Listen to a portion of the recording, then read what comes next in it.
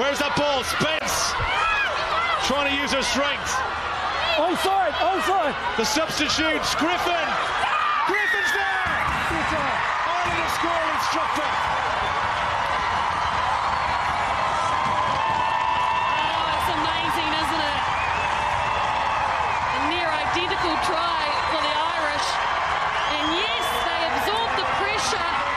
They kept their heads and they've just come up with the best sequence of attack that we've seen from them all game. And it's taken them three quarters of the match to finally show us what they're about.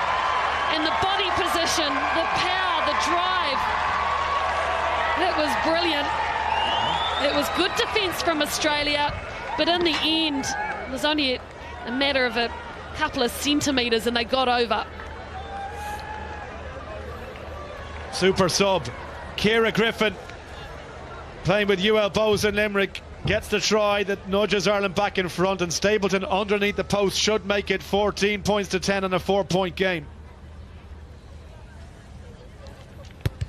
Looks good, girls. Flags go up. It is a four point game, and we've 18 minutes to play. Michael D. Higgins, the Irish president, happy what he sees. Bill Beaumont as well. An entertaining contest.